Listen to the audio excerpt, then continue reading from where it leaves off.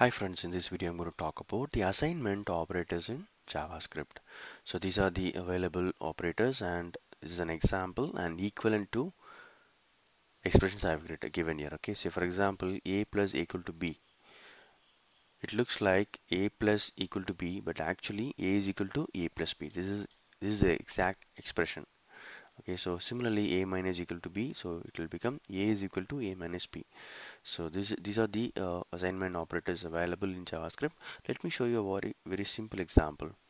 Uh, in my html code i have a button. When you click on this button i'm going to call the javascript method. Inside that i have where a is equal to 50 where b is equal to 50 first expression is a plus equal to b. That means a is equal to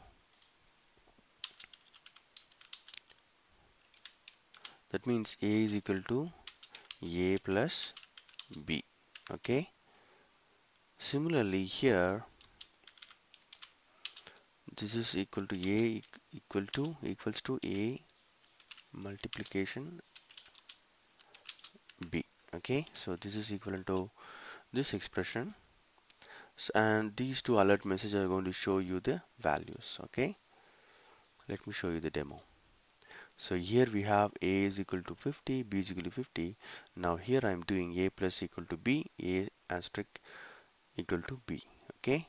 So when i click on this first result will give me the addition of these two numbers okay? Then it will give me the multiplication of these two numbers it is okay? Because already a have 100 and 155,000 okay this is how you can use the assignment operators in JavaScript. Hope this video is useful. Thank you.